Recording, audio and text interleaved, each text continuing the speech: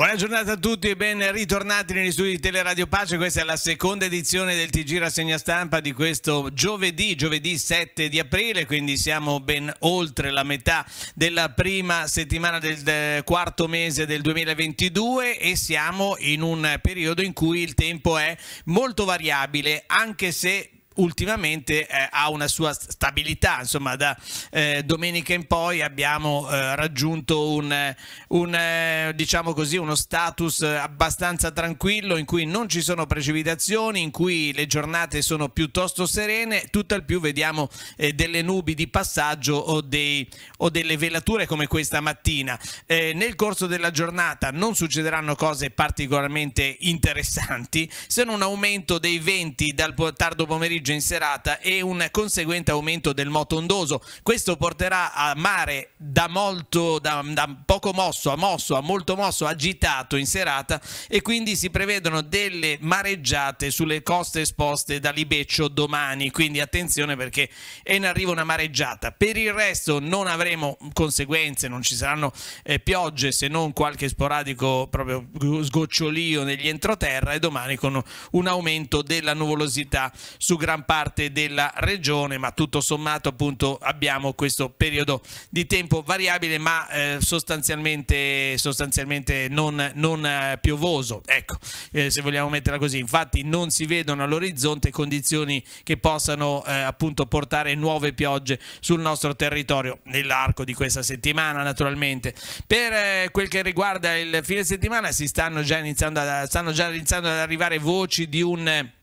ulteriore abbassamento delle temperature perché in questi in questi giorni stiamo, ci stiamo alzando un pochino, ma eh, questo lo confermeremo o lo smentiremo eh, ne, do, nella giornata di domani. Per adesso è un po' troppo presto per dirlo. Andiamo invece alle temperature della notte, queste ve le possiamo dare tranquillamente perché sono dati già diciamo così registrati. Abbiamo avuto una temperatura lievemente sotto lo zero sul Monte Bue, quindi si è riabbassata la temperatura rispetto a ieri in cui avevamo trovato temperature eh, tutte quante positive, meno 1.7 7 alle 2.12 sul Monte Bue a 1785 metri, però poi eh, già le temperature sono aumentate e in questo momento sono sopra lo zero. Eh, meno 0.7 a Rocca d'Aveto a 1255 metri, quindi la temperatura in quota si è abbassata di qualche grado rispetto a ieri mattina, ieri a quella scorsa notte, poi meno 0.1 a Rezzoglio Basso, invece al, in, diciamo al suolo la temperatura si è un po' alzata,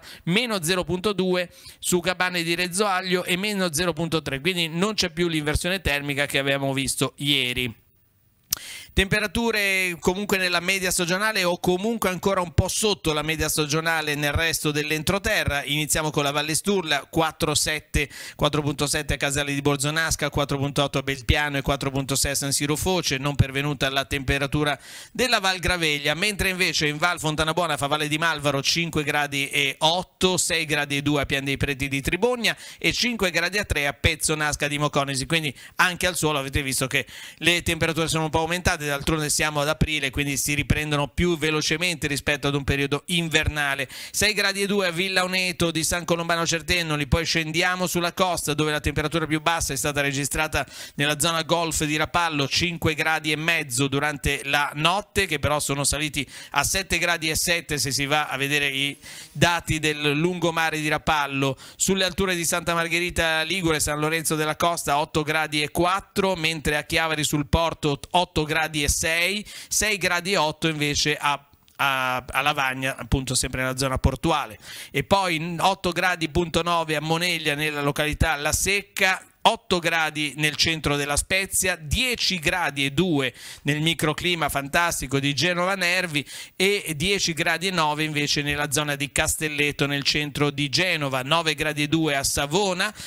8 gradi e 8 ad Imperia e 8 gradi e 3 a Sanremo. Queste le temperature minime della notte nella nostra regione e appunto ci aspettiamo forse temperature un pochino più miti eh, nei, nei, prossimi due giorni, eh, soprattutto soprattutto oggi e domani. Poi su sabato appunto c'è comunque una previsione di ulteriore diminuzione, ma di questo ne parleremo più avanti. Oggi avremo le massime intorno ai 17 gradi in questo 7 di aprile, che potrebbe essere già un periodo, non dico per andare al mare, sicuramente no, ma decisamente più mite di quello che eh, stiamo avendo proprio per eh, questa, questa, coda dell'inverno che ci ha interessato la settimana scorsa. Ricordiamo che sabato scorso, eh, pochi giorni fa, nevicava a quote molto molto basse sul nostro territorio, sul nostro entroterra. Andiamo a vedere quali sono i santi festeggiati oggi. Oggi la Chiesa ricorda e festeggia San Giovanni Battista della Salle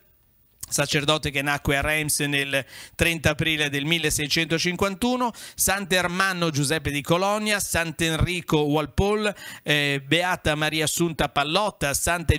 Sant'Egesippo, eh, San Giorgio di Militene, e, anzi di Mitilene, e poi San Cristiano, Sant'Aiberto di Craspen, San Calloppio, Beato Edoardo Odcorn, Santi Martiri di Sinope, San Pelusio, San Pietro Van Lu e ancora Beato Randolfo Ashley e Santi Teodoro, Ireneo, Serapione e Ammone, tutti quelli che ho citato adesso sono tutti martiri. Auguri a tutti coloro che oggi festeggiano il loro ehm, anniversario, una lieta ricorrenza, un compleanno che oggi festeggiano il loro santo patrono. Eh, andiamo adesso invece a vedere le prime pagine dei quotidiani, iniziamo da quello della CEI, quotidiano Avvenire, che titola sulla guerra naturalmente, tutto per fermare le stragi. Il Papa bacia la bandiera eh, che è arrivata da Bucia, eh, sangue che grida al cielo, la Nato evoca un lungo conflitto, Orban cerca di mediare con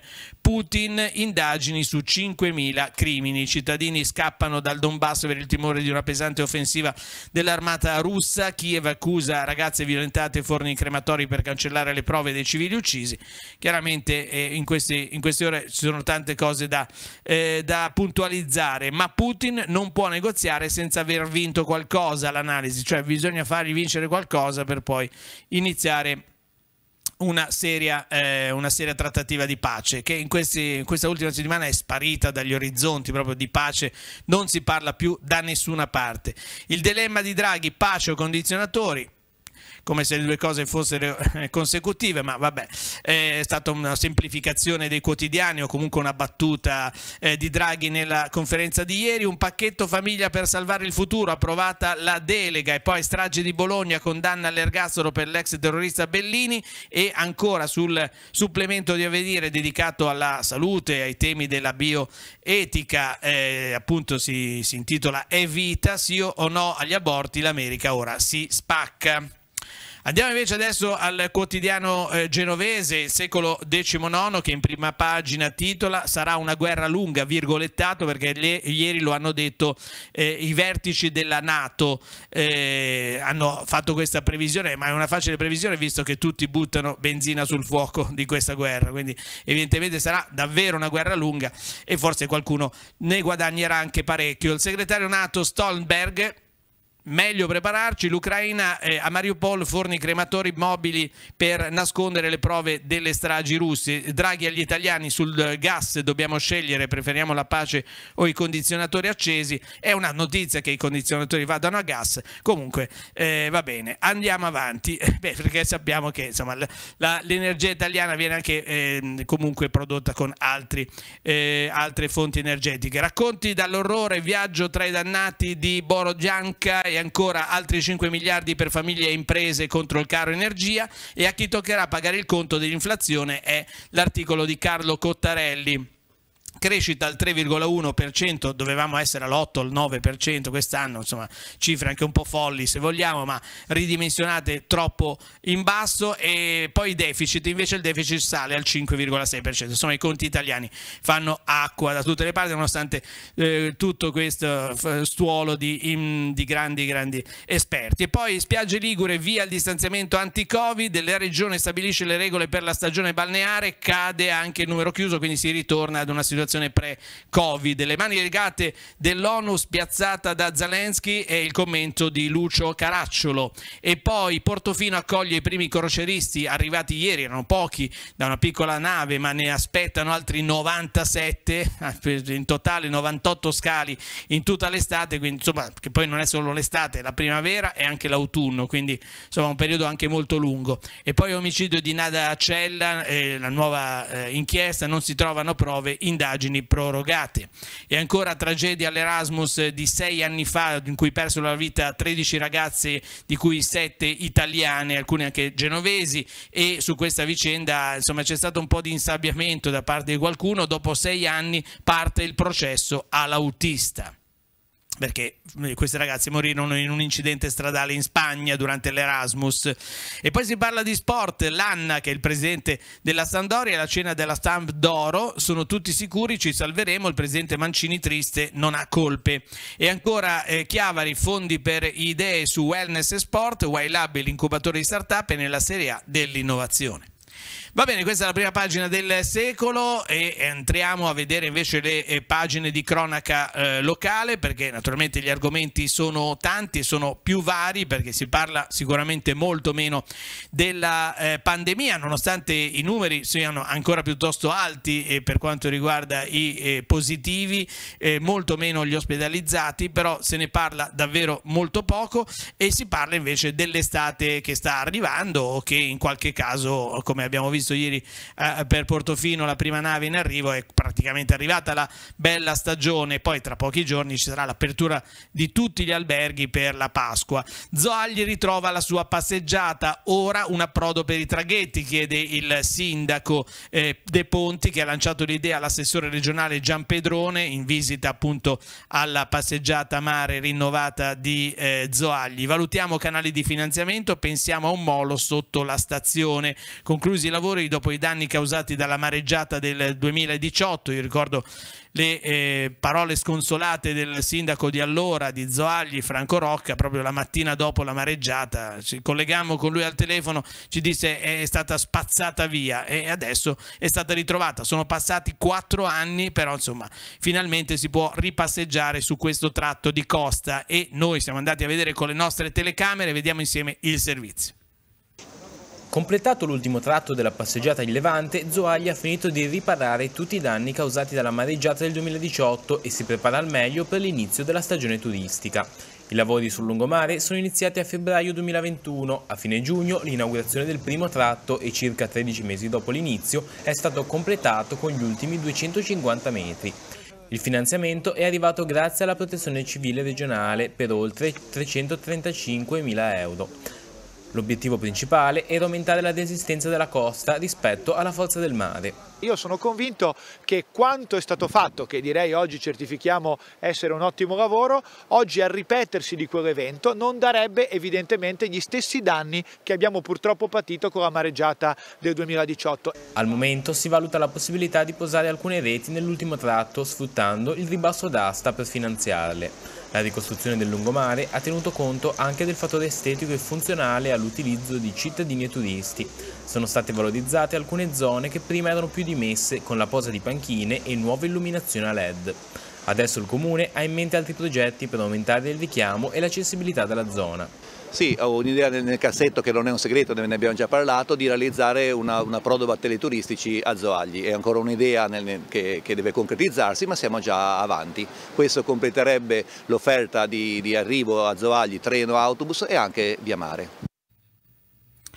E questo è un sogno che Zoagli coltiva da un po' di anni, speriamo che questa volta sia la volta buona e che stia per iniziare la bella stagione, lo vediamo anche da un altro segnale, cioè il fatto che viene riallestita la tonnara di Punta Chiappa. Andiamo sul secolo di oggi, Punta Chiappa ha cominciato l'allestimento della tonnara a Camogli. E poi ancora eh, Santo Stefano e Bedonia puntano ai fondi del Piano Nazionale di Ripresa e Resilienza per potenziare la ski area che purtroppo quest'anno è stato molto a secco perché eh, abbiamo visto veramente poca poca neve dopo un inizio esaltante eh, proprio eh, i primi di dicembre, però poi tutto si è fermato. Invece Discover Italy al Covo inaugurata ieri sera la, la sesta edizione eh, appunto di questa manifestazione, questo incontro conviviale con eh, operatori turistici professionali italiani e stranieri dedicato all'incoming italiano che poi eh, entrerà nel vivo oggi e domani all'annunziata di, di, di, di, di Sesti Levante, però ieri questa era la cena al Covino, al Covo di Nord-Est. Eh, andiamo ancora avanti, Istituto Scolastico Gianelli, prima visita del Vescovo, ma di questo ne parliamo eh, più tardi. Rupinaro e San Giovanni eh, si realizzano le palme, ormai mancano pochissimi giorni all'inizio della settimana santa con la Domenica delle Palme eh, appunto eh, nei prossimi tre giorni e insomma sarà un importante, importante anno perché ritornano i riti come ce li ricordiamo da sempre, quindi con la processione, quindi eh, riti della settimana santa, anche questi pre-Covid, con eh, la capienza delle chiese che è tornata quella normale, quella consueta.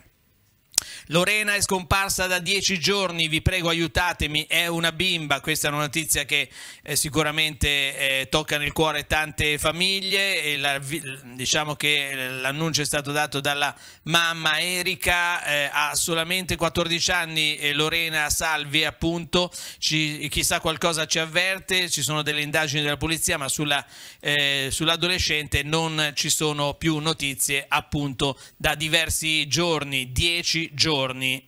il caso appunto è scoppiato a Chiavari. E poi ancora eh, sindacati, operatori sanitari, l'ASL 4 taglia alcune ore di lavoro e poi smaltimento dei relitti al porto Carlo Riva di Rapallo, oggi in aula la capitaneria di Porto. Eh, il processo sui lavori al porto di Rapallo dopo la mareggiata del 2018, quindi la mareggiata torna negli argomenti anche di attualità locale. Io rimarrei su, rimarrei su Rapallo proprio perché abbiamo visto nella pagina precedente il fatto che appunto il vescovo eh, Monsignor De Vasini eh, sia andato a, a celebrare appunto il, eh, la, la, Santa Messa, presiedere la Santa Messa all'Istituto Gianelli di Rapallo, è stata la sua prima visita in questo istituto scolastico e allora ci colleghiamo con la redazione con Andrea Capitani. Buongiorno Andrea. Buongiorno Marco, buongiorno a tutti. Sì, andiamo a Rapallo, lo dicevi tu, è stata una prima visita del nostro vescovo ad un istituto di Rapallo, in questo caso il Gianelli, non è stata solo una Santa Messa ma anche un momento, una mattinata passata insieme, eh, prima a visitare anche le aule, a incontrare i ragazzi e poi appunto il momento eh, della celebrazione che si è concluso con eh, un'esibizione un musicale da parte dei ragazzi con un loro testo musicale elaborato a tema religioso religioso. Eh, di tutto questo ne parliamo nel prossimo servizio che vediamo insieme eh, e poi la linea torna allo studio. Prima un giro tra le aule, poi la messa in giardino insieme a studenti e insegnanti. La visita di Monsignor Giampio De Vasini all'Istituto Gianelli di Rapallo ha permesso al Vescovo di vedere da vicino la realtà della scuola paritaria che riunisce bambini e ragazzi dalla scuola dell'infanzia alla secondaria di primo grado. Un'occasione anche di raccoglimento e preghiera in vista della Pasqua. E soprattutto anche un momento di riflessione eh, sul nostro fondatore, cioè il fondatore delle suore gianelline, eh, il carisma, eh, mettere di nuovo un po' il, al centro il carisma carisma del fondatore Sant'Antonio Maria Gianelli. Visto che avete fatto fare un giro un pochino dell'istituto al vescovo, in particolare cosa gli avete fatto vedere? Allora gli abbiamo fatto vedere la scuola dell'infanzia eh, con la sezione primavera e le tre classi eh, del, dell'infanzia. I bambini avevano preparato delle, mm, delle, filastrocche, delle canzoni per eh, Pasqua nel momento e, e quindi ha, il vescovo ha partecipato a questa piccolissima recita. Ecco. Alla messa erano presenti anche alcuni genitori e rappresentanti delle istituzioni locali. Suor Immacolata ha introdotto la celebrazione ricordando l'importanza dell'esempio di Antonio Maria Gianelli nell'orientare l'azione della scuola. Nell'omelia il vescovo ha ripercorso il Vangelo del giorno in cui Gesù dice a ciascuno che chi vuole essere suo discepolo deve rimanere nella sua parola, cioè cercare di coglierne il senso e metterla in pratica. E allora l'augurio che vi faccio è proprio questo di ascoltare, meditare e mettere in pratica la parola di Gesù e così diventare suoi amici e così conoscere la verità e così essere liberi. A fine messa gli studenti di terza media hanno salutato il vescovo con un ballo preparato da loro su un brano pop di successo del 2019 con un significato religioso.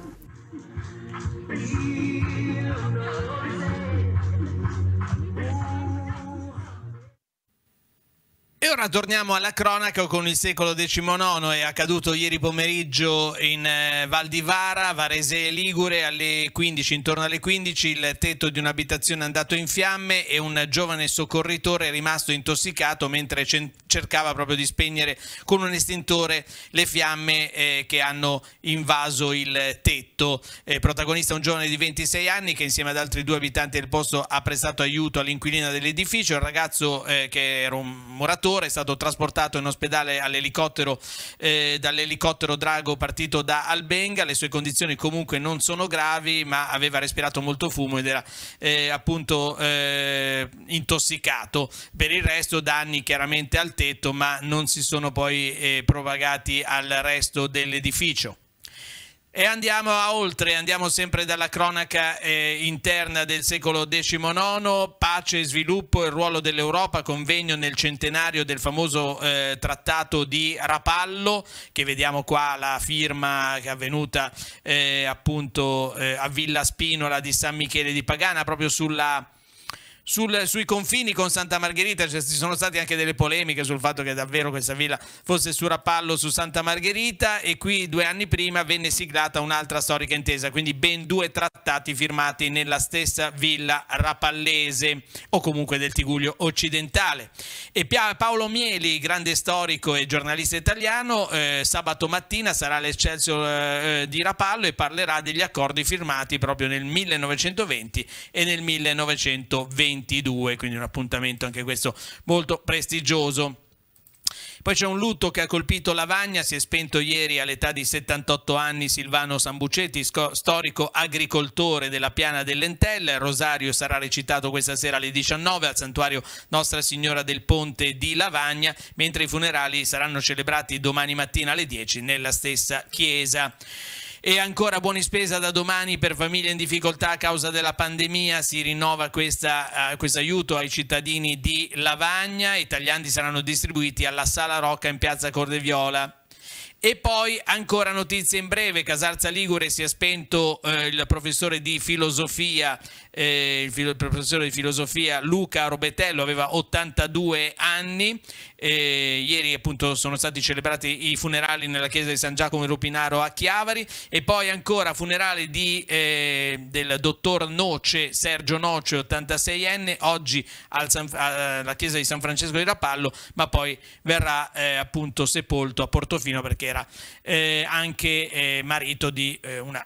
ristoratrice portofinese appunto e sarà eh, sepolto insieme alla moglie. E poi ancora la musica per l'Ucraina due concerti di solidarietà il requiem di Mozart nella Basilica di San Salvatore in cattedrale a Chiavari. Sabato e domenica si raccolgono fondi a favore dei civili martoriati dal conflitto. Quindi sabato alle 15.30 Basilica dei Fieschi a San Salvatore di Cogorno domenica sempre 15.30 cattedrale Nostra Signora dell'Orto di Chiavari entrambe eh, le, eh, appunto gli appuntamenti con il Requiem per la pace messa in eh, Re minore di Wolfgang Amadeus Mozart. E poi ancora crollo degli aiuti, ma l'emergenza non è ancora finita. Casa Caritas dall'allarme, non c'è più la sensibilità dei primi giorni, quindi non arrivano più tantissimi aiuti da parte dei cittadini, ma invece l'emergenza continua, anzi i profughi sono sempre di più e si stanno ammassando alle frontiere con la Polonia. E poi olio, boom dei prezzi, così corriamo ai ripari, così i ristoratori di Recco reagiscono all'aumento dei prezzi, soprattutto dell'olio di semi vari, perché sappiamo abbiamo, abbiamo, saputo, perché tante cose non le sappiamo, poi le veniamo a sapere in momenti di emergenza, quasi tutto arriva appunto dalla, da là, Ucraina e, e, Russia, quindi è chiaro che in questo momento c'è un po' di blocco e anche, anche forse un po' di speculazione, chissà. I rifugiati della regina Pacis a Santa Margherita sappiamo che sono stati diciamo così, trasferiti da Montemoggio dove hanno trovato una prima accoglienza, una prima ospitalità a Santa Margherita, sono in una villa tra l'altro molto bella sopra la stazione di Santa Margherita, però sono sicuramente in un luogo più diciamo, popolato, eh, più eh, diciamo, comodo rispetto a Montemoggio, bellissimo però un po' isolato. Andiamo ad altri argomenti, via le distanze, i numeri chiusi dalle spiagge, quindi torniamo ad una stagione turistica simile se non uguale perché comunque le condizioni sono diverse e comunque non c'era una guerra nel 2019 comunque almeno dal punto di vista delle distanze delle, delle, de, dei numeri sulle spiagge della Liguria torna tutto come prima, non ci saranno più eh, quelli della protezione civile che controllano le mascherine, questo e quell'altro, la regione ha stabilito le regole per la stagione, perché ricordiamo che l'anno scorso la stagione era iniziata con le mascherine all'aperto, noi abbiamo tolto le mascherine mi, mi pare il 26 di giugno, quindi eh, è chiaro che era una situazione diversa, molto diversa da quella di, di quest'anno, quando le mascherine le abbiamo tolte a, a febbraio. L'assessore Scaiola, la guardia comunque resti alta, il sindacato balneari boccato d'ossigeno, è il caso di dirlo, boccata senza la mascherina, quindi le spiagge tornano e, e al momento, beh, torneranno così, ma al momento sono così, cioè eh, ci sono i lavori in corso, c'è il ripascimento delle spiagge ancora da fare e il montaggio delle cabine per eh, gli stabilimenti che non sono in muratura, quindi siamo ancora in una fase di eh, diciamo, costruzione degli stabilimenti balneari. Ancora altre notizie, assunzioni per 274, concorso OS, cioè gli operatori sociosanitari, il 27 aprile c'è la prova bis e poi ancora grandi opere e legalità, il protocollo con il Ministero firmato in procura ieri a Genova. Ancora dal secolo XIX di oggi, eh, Ailex, la fabbrica di Chiavari, la fabbrica di eh, San Pier di Canne, come sapete erano stati paventati ben 22 esuberi, poi la, mobilita la mobilitazione dei dei dipendenti e ieri un corteo a Genova e da un vertice in Confindustria pare che questi esuberi possano diminuire di numero ma non essere ritirati dall'azienda e quindi i lavoratori non si dicono ancora eh, completamente soddisfatti. Ailex corteo a Genova gli esuberi scendono a 14, presidio sotto la sede di Confindustria durante l'incontro il vertice tra l'azienda e i sindacati, calano i lavoratori a rischio e salgono gli incentivi. Martedì comunque ci sarà un ultimo confronto in cui si merita accetteranno appunto queste nuove strategie, anche se i lavoratori insomma sono comunque molto, molto arrabbiati di questo fatto perché nonostante le promesse e le commesse che erano state comunque eh, confermate, il, diciamo, il vertice dell'azienda ha deciso che per andare avanti è necessario fare a meno di ben eh, prima 22, adesso 14 lavoratori e sono tanti perché comunque non è una fabbrica di migliaia ma di 263 mi pare dipendenti, quindi comunque una percentuale molto alta. Casa Morando a Chiavari, volta pagina, ecco i progetti per il futuro, l'incontro con la direttrice sanitaria Vagge e il presidente eh, della, appunto, della casa eh, di riposo Bruzzo eh, è appunto eh, stato, è stato fatto questo incontro per eh, parlare dei progetti futuri della casa eh, che chiaramente in questo momento ha avuto anche dei problemi grossi rispetto al covid con vari divieti adesso il tutto sta lentamente ritornando alla normalità anche per quanto riguarda la visita dei parenti. Andiamo alla campagna elettorale di Chiavari in realtà non è partita completamente perché i giocatori diciamo sul campo sono pochi, cioè adesso candidati ufficiali a sindaco sono due, uno del Movimento 5 Stelle e l'altro eh, dell'amministrazione uscente, mancano gli altri protagonisti, manca il centro-sinistra e anche il centrodestra che ha un candidato in pectore, Giovanni Giardini, ma che non ha ancora l'ufficialità di tutti i componenti del centrodestra, in particolare del partito di Toti. Giardini è il nostro candidato candidato, centrodestra in pressing su Totti, il presidente della regione e presidente di Cambiano riceverà entro la settimana consiglieri e coordinatori dei partiti. Cambiamo deve scegliere il nodo degli esuli e trovare nomi da inserire in lista. Eh, tutti gli dicono di fare presto e vediamo, vedremo come andranno le cose. Mentre invece oggi pomeriggio alle ore 18 nel point di eh, Corso Garibaldi verrà presentato il programma della maggioranza uscente con Messuti candidato a sindaco.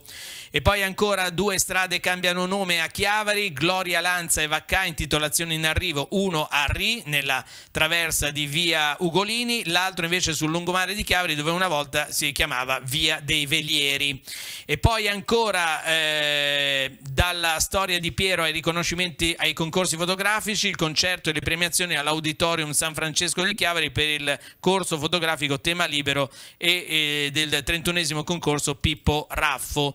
Botteghe storiche, firmato l'atto che le riconosce a Chiavari, quindi anche Chiavari avrà la sua tutela delle botteghe cosiddette storiche, cioè le botteghe che hanno segnato la storia commerciale della città. E poi festa a Portofino per l'arrivo della prima eh, imbarcazione da crociera, non è grandissima, ha solo 246 passeggeri, perché poi ne arriveranno di molto più grosse, ma è la prima di ben 98 scali previsti a Portofino per l'anno 2022. L'anno scorso erano stati 14 con un totale di 2.239 passeggeri, quindi quest'anno sono eh, quintuplicati e quindi ci aspettiamo sicuramente eh, tantissimi passeggeri in più. Eh, la Zamara Pursuit da Monte Carlo con oltre 200 passeggeri sono previsti un centinaio di scali da qui a metà di novembre. Questa è la classica nave blu francese che arriva arrivava martedì, eh, infatti eh, sì, beh, martedì, mercoledì comunque in questi giorni della settimana e poi ce ne saranno di molto più grandi e poi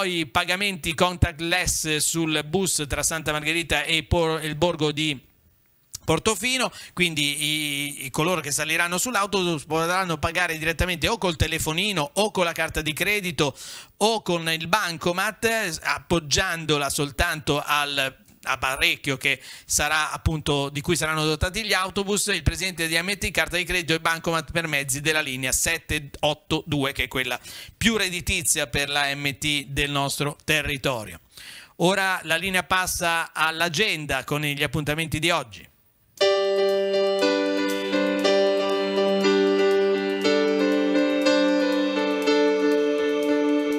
Gli appuntamenti di giovedì 7 aprile. Apertura dalle 9 alle 14 per il Museo Archeologico al primo piano di Palazzo Rocca in via Costa Guta Chiavari. In esposizione ci sono reperti e testimonianze archeologiche provenienti dal territorio chiavarese.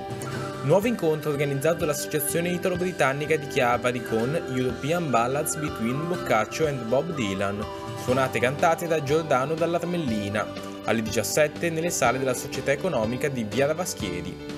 Capitani Coraggiosi prosegue nella sala del capitano di Palazzo San Giorgio a Genova con Macrol Gabbiere d'Alvaro Mutis, interpretato da Federico Sirianni, Raffaele Rebaudengo e Filippo Filoc Quaglia. Inizio spettacolo alle 17. A Genova si discute del futuro del centro storico nel convegno Dialogo con le istituzioni per una nuova città antica organizzato da Domus Cultura. Intervengono il sociologo Mario Salisci, l'architetto Alessandro Casaretto, la presidente di Vive del Centro Storico Franca Giannini e il vescovo ausiliare di Genova Nicolò Anselmi, alle 17.45 a Palazzo Imperiale in piazza Campetto.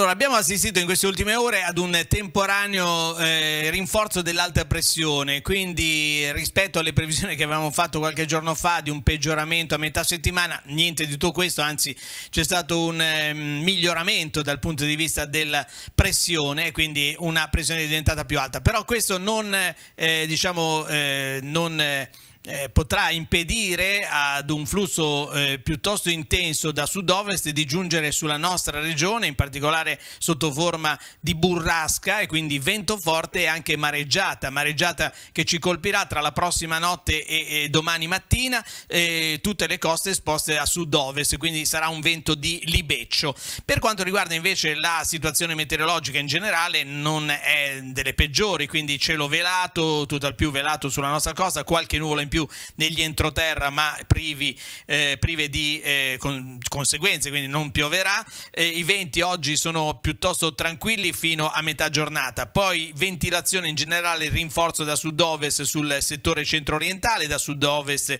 e sud-est sull'Imperiese dove potranno esserci raffiche fino a Burrasca e mare che inizialmente poco mosso quasi calmo, in graduale aumento il motondoso nel corso del pomeriggio fino a molto mosso a tratti agitato in serata. Le temperature nel pomeriggio sulla costa le attendiamo intorno ai 17 gradi. Domani, eh, venerdì 8 aprile, la Limet prevede nuvolosità regolare su gran parte della Liguria, ma con cieli più coperti sulle zone interne del centro levante, dove non si esclude anche qualche eh, goccia di pioggia, spazi soleggiati e tratti ampi e persistenti sull'imperiese savonese. Però è importante sottolineare il 20. I venti domani saranno di tempesta, di libeccio opponente al largo, a rotazione ciclonica sotto costa, ne consegue mare agitato per onda da sud-ovest, mareggiate sulle coste esposte e temperature in leggero calo nelle valli interne. Io voglio ringraziare Federico Bove che ha curato la parte tecnica e regia, Andrea Capitani che invece è stato con noi a redazione, tutti voi che ci avete seguito e naturalmente seguirete i prossimi appuntamenti informativi, il prossimo su Telepace 1 e Radio Pace alle 12.45 con il TG Tiguglio oggi. Naturalmente potete seguire gli aggiornamenti sul sito www.teleradiopace.com, sul nostro canale All News 187 e poi naturalmente ci ritroveremo domattina, ultimo giorno di questa settimana per noi alle 7.30, 8.10 da parte di Marco Revello. L'augurio di un'ottima giornata a tutti.